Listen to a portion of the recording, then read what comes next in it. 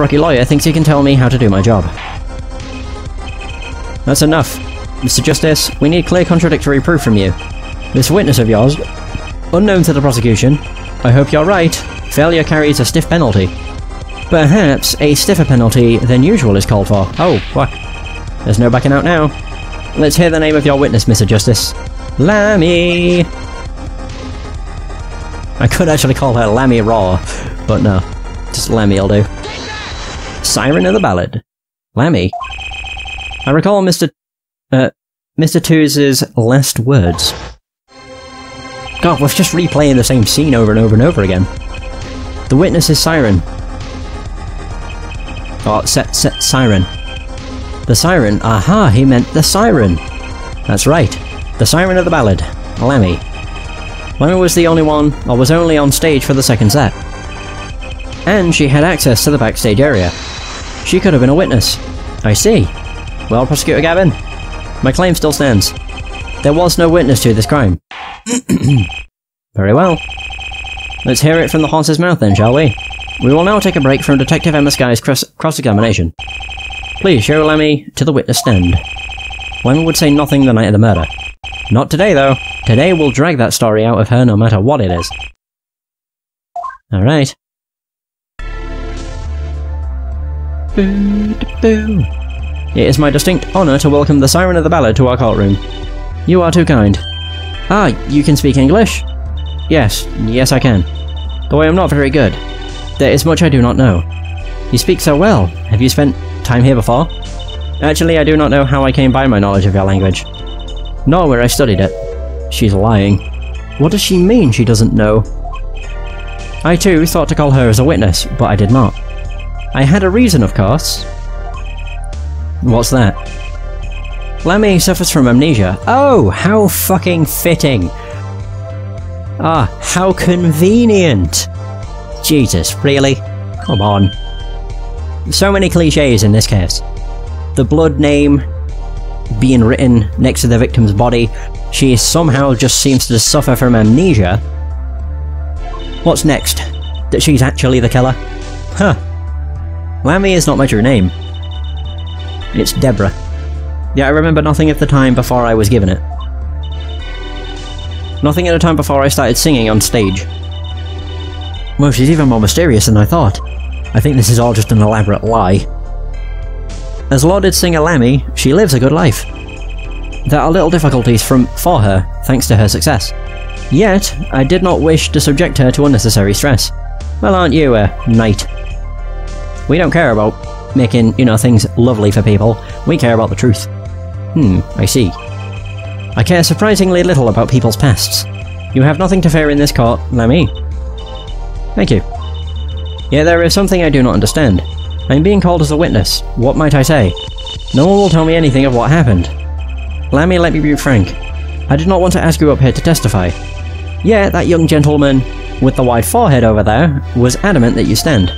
Oh my. Congratulations, Apollo. You're the bad guy. Ugh. Wow, I'm made out to be the dickhead. How did this happen? Well, now that you're here, please give us your testimony.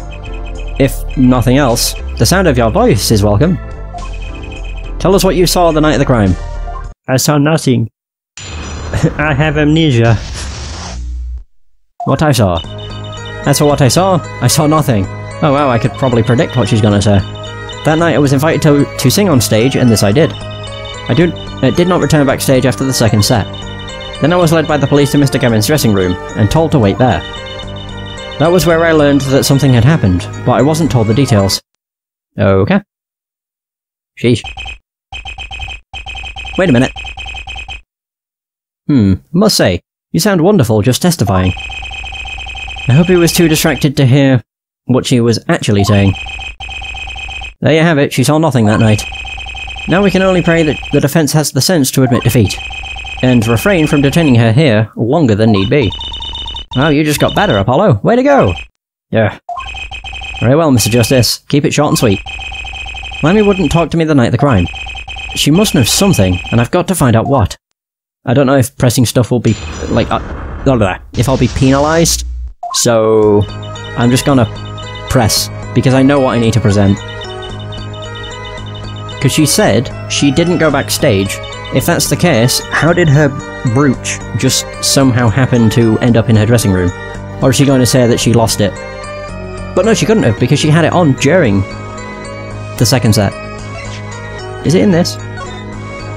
Yeah, it is. She still isn't wearing it, which is rather weird.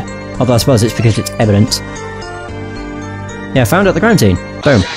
Bitch. You lie. I'm sorry, Lammy, but I'm having trouble believing you. You remember this brooch, do you not? Why, why, that's Lemmy's. She was wearing it for her song. Care to add that to the testimony, Prosecutor Gavin? W what? This brooch was found after the murder took place. At the very scene of the crime. What? Haha. ah, fuck, I love these games, they're so good. Lemmy, how did your brooch get backstage if you did not go there yourself?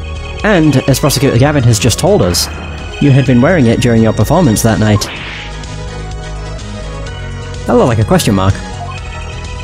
What is the meaning of this? Lammy, please explain. I have amnesia, I don't know. Lemmy. Oh, of course, now she won't speak English. Screw you. She says English is quite difficult. Baloney. That trick's not gonna work here. Really? Your forehead may be large, but you are a lawyer, truly. But, you have missed one important fact.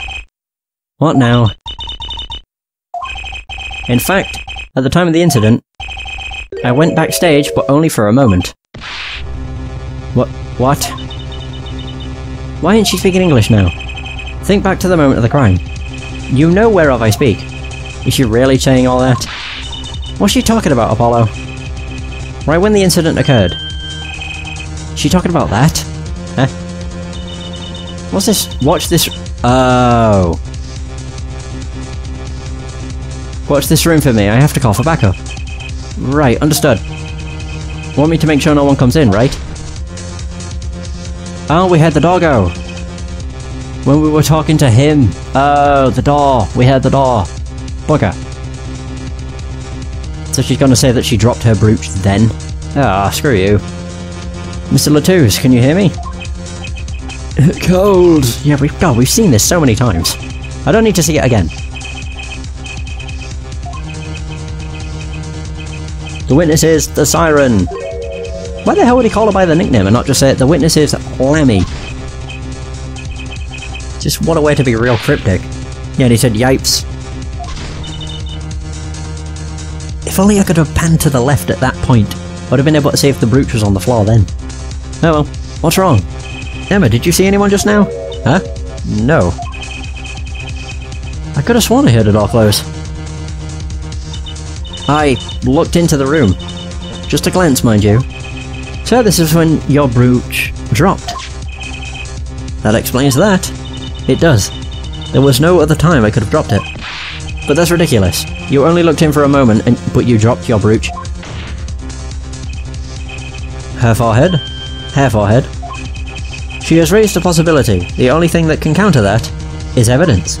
Hmm. So she looked in at the crime scene. Actually, I, ended, I intended to go into the dressing room. I knew nothing of what had happened, of course. But the moment I opened the door, I heard a horrible voice. Her forehead shouting, Who's there, no doubt? A horrible voice indeed. Yeah. I closed the door immediately. Okay. It's almost like if she opened the door, heard a voice, and then instantly closed it, it's she might as well have just thrown the brooch in there. Because it landed pretty far away from the door. Well, that explains the brooch. Let's return to your testimony. That's too convenient. She's hiding something. Lemmy, you did look into the room though, right? Yes. Testify as to what you saw. Very well. Though it was only the briefest of glimpses. Yeah, okay. Wait a minute, what? Oh, there's a thing! Wait, my wait, when my performance was finished, I went backstage for just a moment. Okay. What, perceive on this?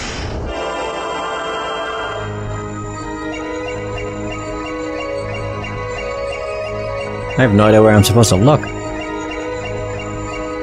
Sorry, I don't mean to look at a chest. Oh, I can't go any further down. I don't know why I was thinking. Aha! She's suspicious. It's moving. I don't think it's here. I'll try the next statement. Stop.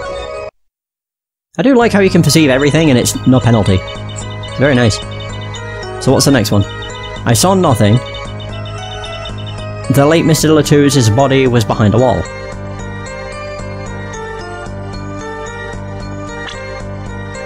Hold the phone. She would have still been able to see if the doll's there. Yes, it's behind the wall, but only briefly. It it it cut off. You'd be able to see a head and a hand. Yeah. I don't want to present. Sheesh. Perceive! I saw nothing. I can actually see her mouth. Oh! Oh! Haha! eh. What the fuck? I'm trying to, What the hell is that? Whatever. The late Mr. LeTouse's body, I guess. Sure. Gotcha! I do love that so much. Gotcha! Oh, you can actually see behind it all the time, I think. The late Mr. LeTouse's body, you say? Yes. You know something more about Mr. LeTouse's death than you were saying. What? Yeah, you can actually see it. I could see you trying not to remember, but the effort made you swallow. Ah, uh, that's what you were doing. It was really weird looking. You can't fool my eyes. It is true. It was so terrible, after all. Why did Mr. LeTouse have to be shot? One moment, Lemmy. Yes? What was that you just said? Why did he have to be shot? Yes. She was hiding something. I knew it. Lemmy, I'm afraid you haven't realized it, but... Your words just now contradict your testimony.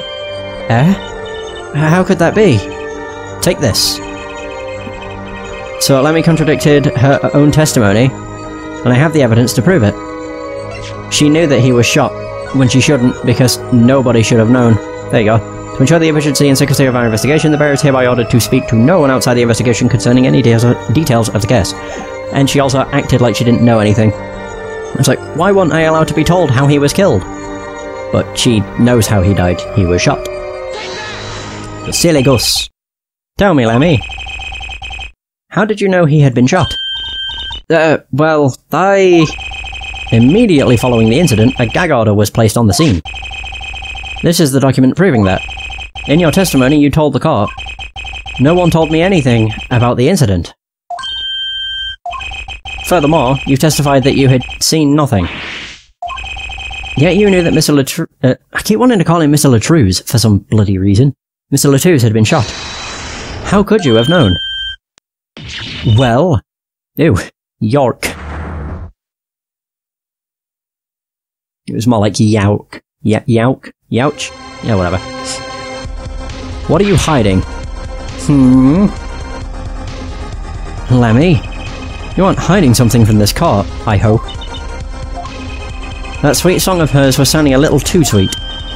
Ah, now I remember. Oh yeah, how how convenient. Please allow me to add to my testimony. Of course. All we want to know is the truth. She looks kind of pale, huh? She saw something, I know it. Even the victim said so. Hmm. Mm hmm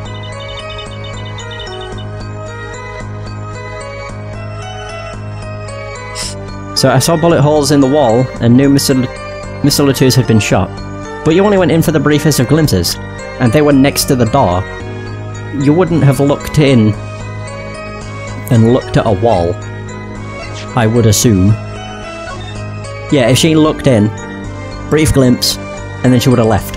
She wouldn't have brief glimpse, look at the wall, oh look, bullets. Yeah, I ain't buying that.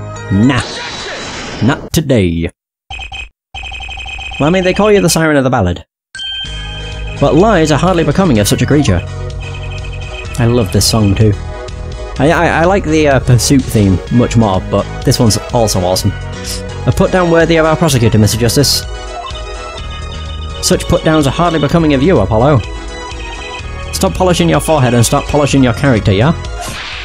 Come on, can't I be cool for a, for once? Observe the diagram. Lemmy, you looked in from the door for just a moment. Correct? Y yes, that is so. There were bullet holes in the room, yes. But they were in the wall the door is on. Uh? You see? Assuming you merely glanced into the room, the only bullet hole she would have seen would have been on the one in front of her. But they didn't hit that wall. Conveniently. Lemmy? Yes? I'm afraid the defense has, ra has raised a good point. It appears you have been holding back something. And I must tell you, I must tell you what it is that I saw. Yes. The happenings in this trial are being recorded. And I'm certain it will be on the news in Borginia. You understand your reputation is at stake. It falls to you to avoid tarnishing it. Personally speaking, I still believe that cross-examining her will yield us absolutely nothing. How do you know, though? But she knew how Mr. LeTouse died, and he named her as a witness. You must have seen something, Lemmy. Okay. Very well. Lemmy, please continue your testimony. Very well. I shall. What I saw too. Electric Boogaloo. I was on my way from the stage to the backstage exit. Whoa, what the fuck? Oh, right, yeah. I was about to say, why is there a picture of her here? So, there was something like a little window there. That's how I saw it. There were two shots. I couldn't do anything to stop it. But it wasn't... But it wasn't Machi. It was a grown person. I know it was. Oh, so now she's actually covering for Machi. That's at least nice. So you did witness the crime. And the killer was a grown person, you say? This is my first time hearing this, I assure you. Nice play, Hair Forehead. You're welcome. Very well. Ah, Very well, uh, uh, uh, Mr. Justice. You may begin your cross-examination. Great going, Apollo. You were right about Lemmy. What's wrong? You don't look too happy. This whole thing smells fishy. That's what's wrong. Alright. What I saw too. Time to push. A lot. Right, so, yep. So you were heading toward the dressing room? Yes. So, this is a little before she opened the dressing room door and dropped her brooch.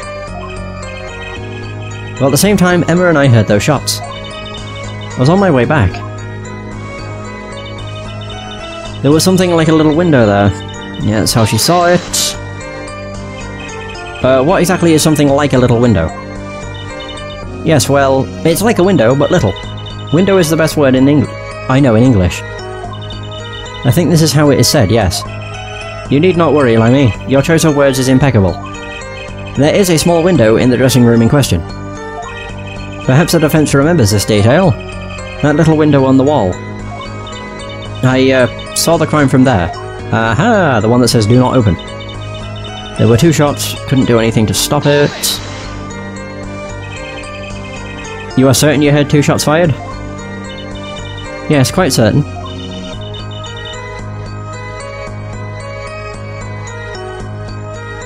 I was on my way back to the backstage exit.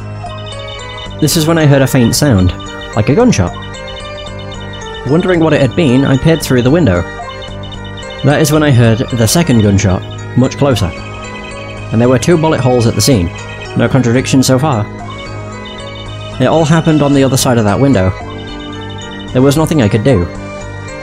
Hmm. But it wasn't Machi. I mean, that's a, you know, point in our favour. At the very least. It wasn't Machi who shot, are you sure?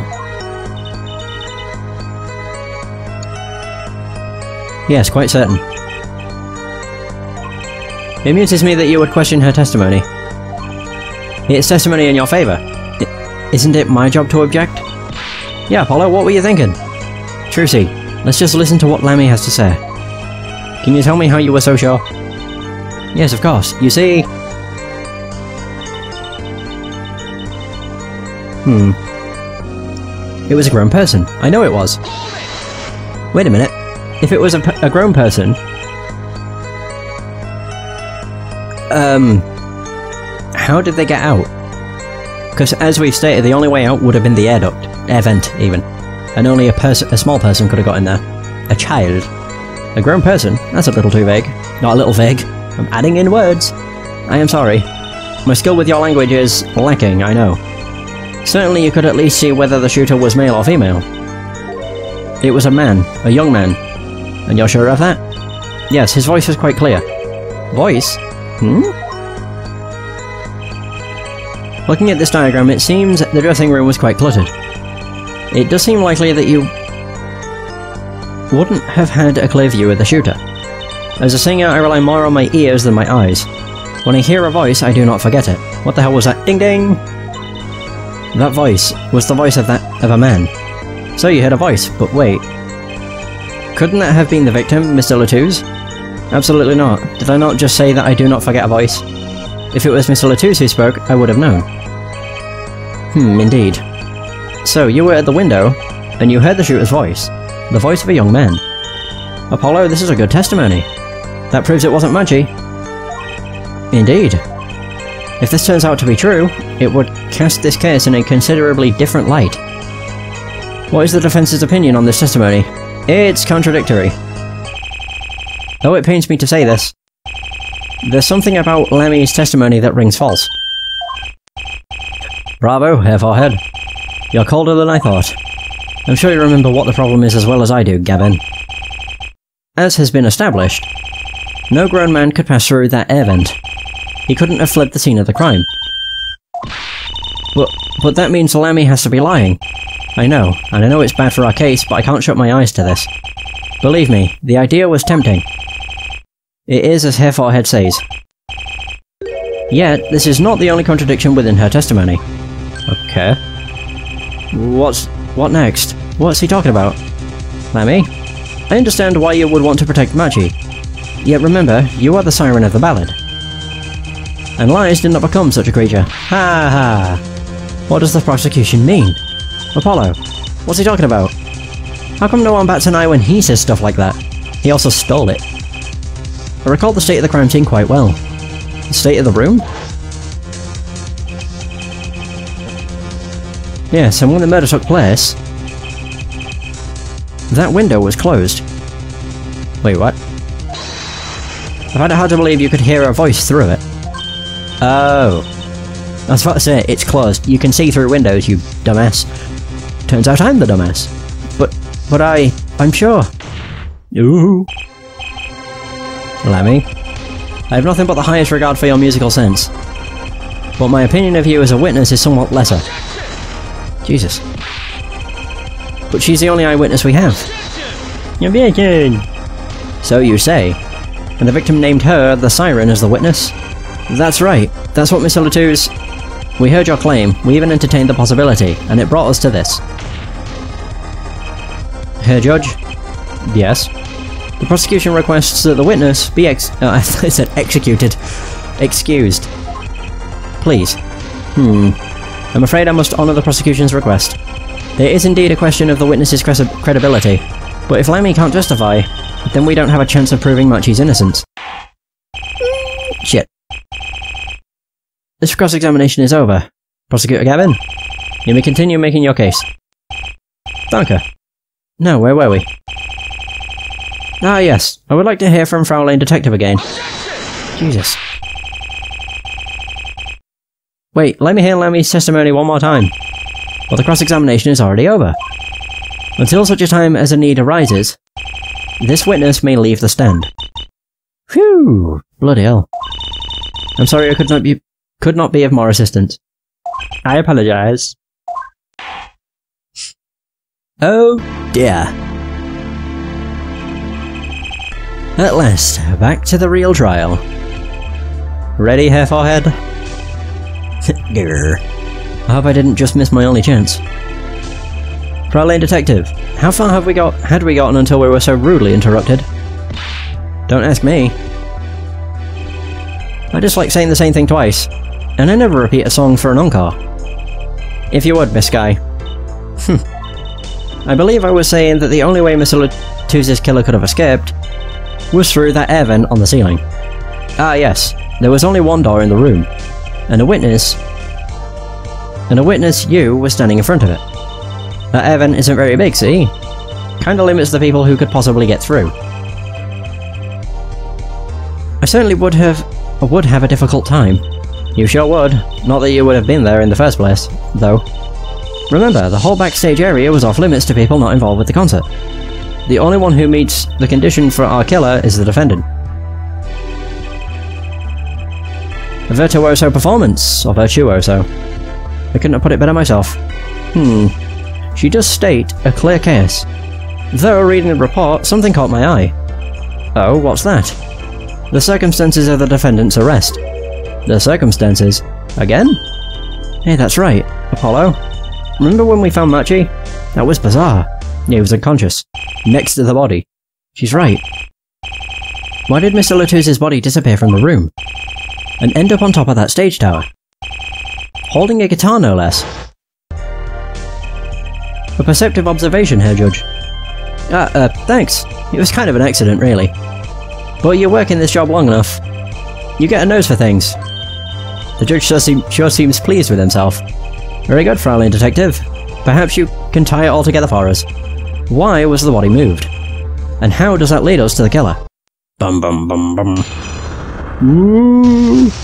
Alright. The missing body. Wait a minute, I still have a problem. Ow. I know, I have a problem with the whole Machi did it. The dude's blind. How would he have known where the air vent was? Well, actually, there's multiple reasons. One, he's a kid. Two, it would have been a revolver that would have, like, broken bones. And three, he's blind. So, you know. I believe Machi stole the, the body because of some lyrics. He moved the body to match Lam uh, Lami's song. No one in this country had a motive to kill the victim. And Machi practically left his signature at the scene.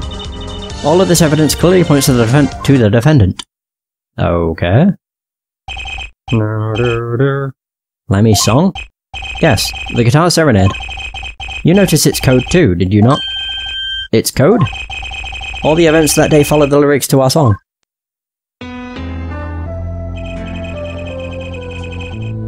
First, the keys my heart held onto so tightly were stolen.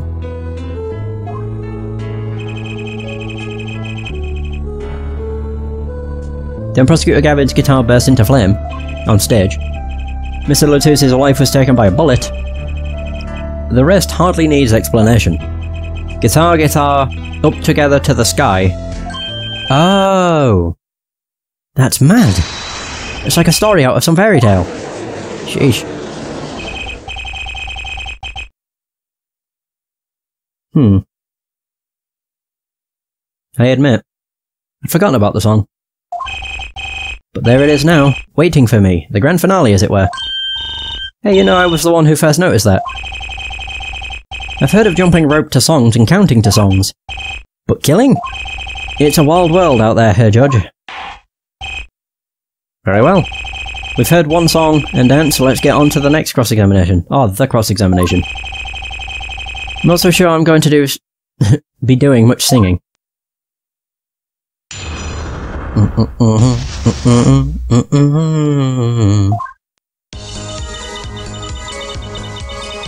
Mm-hmm. Tell me more.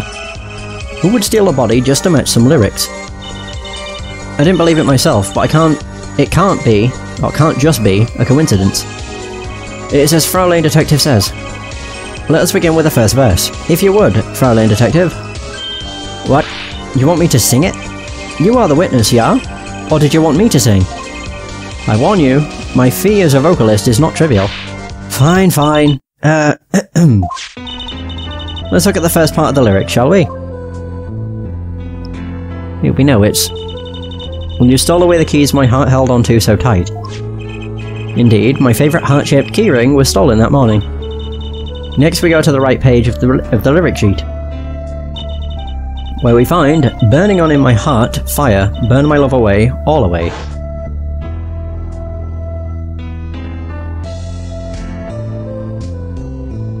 Um, okay. Oh, right. As we know, Prosecutor Gavin's guitar burst into flame. I was wondering why it was taking so long. Like a bullet of love, fire, take my life away, all away.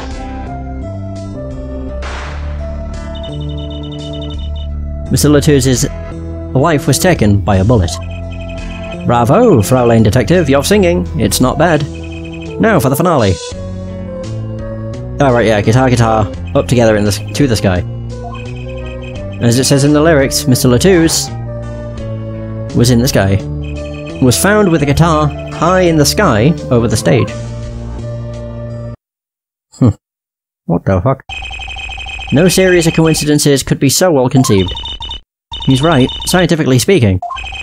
What would Wacky have said? That concert was whack. what the f- Why? It's hard to argue when she pours her heart into it like that. Uh, uh, anyway, the shooter. Hmm. Does the prosecution have any idea why he'd do all this? You want my scientific opinion? No clue. But he clearly had a reason to go through it. Uh, to go through all that trouble. Some deep reason. A deep reason.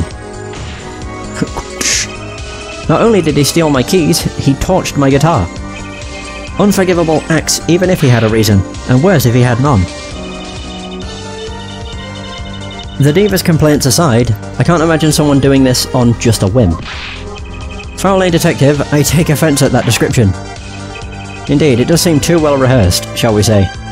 Yes, this crime was planned for sure. No one in this country had a motive to kill the, the victim.